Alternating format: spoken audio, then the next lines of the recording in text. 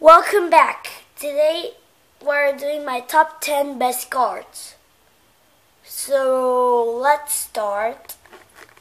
Here it is. First, it's this dark K. It's a full art. You could see there. Camerupt EX. It's not a full art. You know that. You could see it. And there, it's a Charizard. I really like him. Then it's an Espeon EX. Espeon. I like it because I got it in that box sent by Javier.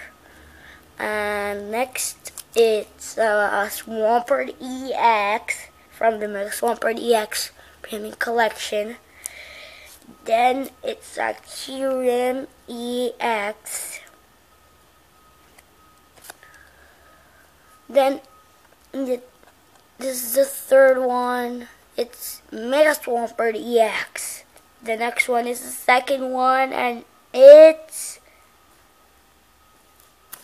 my Champions Fort.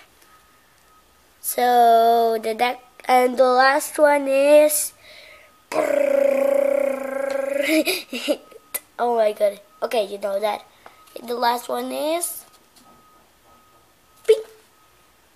Dragonite EX Full Art. Woohoo! Dragonite. Boom! Full Art.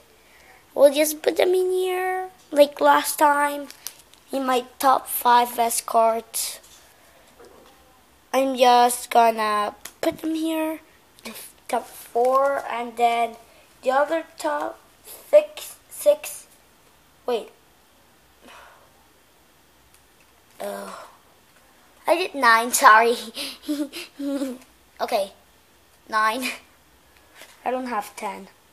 Well, I do have a tenth one, but I forgot that one, so who cares? Let's just put them in here. Spioniac, and it goes. There we go. And you know the best one, it's this one, so it should be here. Look.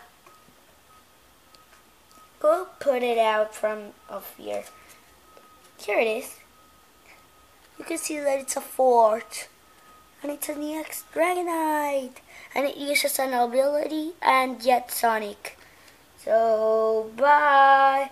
Thanks for watching and please subscribe so I can buy a lot more things of Pokemon. So, bye. See you in the next video. See you there.